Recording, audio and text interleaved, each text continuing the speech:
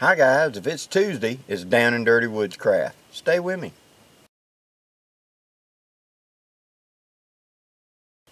Okay guys, today we're going to do a real quick little repair to my gear. Something to add. Now, I've been running this pack now for a little bit. And as you know, I put these straps onto it, these old World War II pads to make the straps wider, but they want to slide down too much. Now, not while I'm wearing it, but when I go to pick it up or whatever, they just slide down. So I want to find a way to anchor this to it. Now, there's several different ways I can do it. But what I'm going to do is I'm going to take my Speedy Stitcher and do a quick repair, or a quick improvement. Now, something we haven't talked about a lot in these series is having a repair kit. Having something with you that you can repair or fix your gear in the field as you go because things are going to happen. You're going to tear a pair of pants, you're going to tear a shirt, you're going to tear a strap, whatever. Something's going to pop loose. And it's one of those things, if I don't fix it now, it'll be far worse by the time I get home. So, I need to repair it in the field. So you need a small repair kit. And we're going to do that very shortly. We're going to do a, a, a, video just on repair kits and what I carry to have maximum use capability. But for today, we're going to do a real quick stitching thing using a Speedy Stitcher. And if you don't know how to sew, you don't have an idea, a Speedy Stitcher is one of the best things you can have. So let me show you how to set this up. Okay, here you can see the strap as it comes off the pack. And here's my extra uh, wider strap pad, we'll call it, goes right there. Now, what I'm going to do to keep this from sliding around and everything is I'm going to get it in position, and then I'm going to go through right here through this band going across the top over the strap itself and just do a little tack there just to keep it from sliding, okay? Now, I could go all the way through, but that might produce a knot or something there where I tie it off that might bug me. It may end up on top of my shoulder sometime and you know it's hot. You're wearing a thin shirt. Every little thing irritates you. So I want this as smooth as I can get it. So I'll go through right there. Now with my speedy stitcher which I've got and I don't carry this in my kit. I keep it at home. But I could carry it in the field like I'm doing today. Unscrewing there's a spool in here that's already got thread in it that comes through to this tensioner and comes up the center. Now I have three different types of needles to choose from to do this job. And for this one, I think I'm going to take the curved needle. So what we're going to do is we're going to put it coming up through the slot like that. We're going to put the needle into it just like that. And then we're going to put this cap over the whole thing.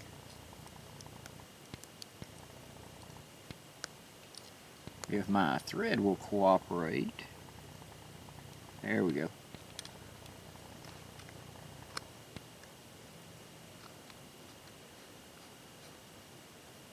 Screw it down. Make sure the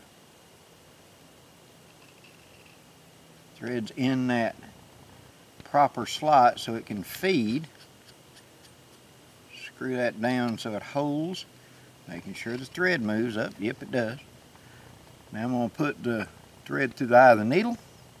Sometimes it helps to pinch it to be a little bit of a more flat.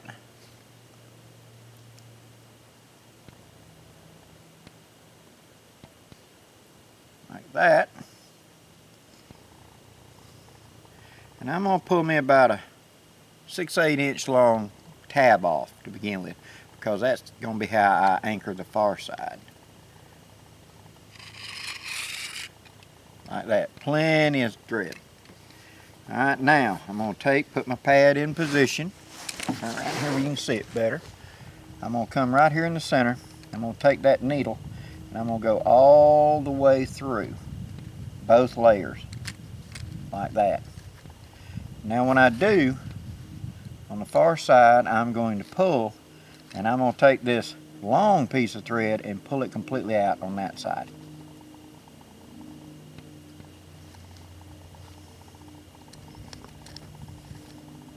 This is wax linen thread, by the way, guys. All right, now pull back to me. Now, tighten that up a bit. I'm gonna go right next to it, spacing over about a quarter of an inch, and I'm gonna push through again. This time on that back side, when I pull back, see it makes that loop right there pop up. I hope you can see that. That loop right there. That's what I'm gonna now take my long thread and go through. And that traps it on the far side. I pull it, and I pull this back to this side, and I pull the two threads tight. Now I scoot over a quarter inch, making sure my strap is staying square to my other strap.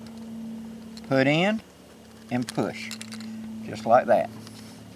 Slip up, pull back, there's that loop. Now I take and go through the loop, just like that. Grab a hold of it, pull back to me, pull the thread tight. That's how I run the stitcher. Now let me get you a little closer so you can see that loop a little easier. Okay. Now I'm going to take, making sure my strap's staying square to my work. There's my loop in. I'm going to pinch it, come over just a quarter inch, hook it, shove it through, just like that. Shove it up, and now watch right here when I pull back. See that loop form? That's what I'm going to take this loose piece of thread and go through. Just like, just like that. And then I just pull it. Now I pull back to this side and pull the two tight together. That's all I got to do. So I move up here a quarter of an inch, make sure my pad's in the right place, pinch the two together, take, punch it through, go in, pull back, there's my loop, I take my running end and I stick it through the loop like that and I pull back. Now I've created a line of stitches right there that's going to hold that for what I needed to do to keep this from sliding. How do I finish it off? I could tie a knot but it would be better just to go back in the opposite direction and do it again. Now what that's going to do is going to tie the knots together. It's going to put it where it doesn't want to unravel because it's unraveling in two different directions. So I now pull my slack out of the way. I come back and I go back over like just past that last notch I did and I'm going to push through just like that pull back for my loop come through my loop, pull it, pull back, cinch up. Now I'm going to drop down right below it. So now we have the improvement. Now my straps are going to stay in position and they're not going to roll around so easy on me, slide down. And I can adjust my straps. I got plenty of room to go up or down like that. All of that just the use of a speedy stitcher. Now, being able to repair the gear in the field, being able to adapt gear in the field is a big thing, guys. And having some sort of method of doing it, carrying a micro sewing kit, carrying one of the other small repair kits, which we're going to talk about in the near future, all add up to your ability to adjust on the fly to whatever life throws at you. Because what if I got in here and this strap broke? What if I accidentally cut this strap? Go and put my knife back and I cut my strap. Well, I have the ability to sew two pieces of strap together to get me home. So I've got the opportunity to fix the problem. You've just got to be able to have something in the way of it. We can carve, we can whittle, whatever, but whittling up a needle is kind of hard. It takes a lot of time and effort. And it's far easier just to carry it. So some sort of repair kit is the way to go. So, until next time, guys, I'm Blackie for Sharman's Forge, wishing you safe journeys. Have a great day, guys.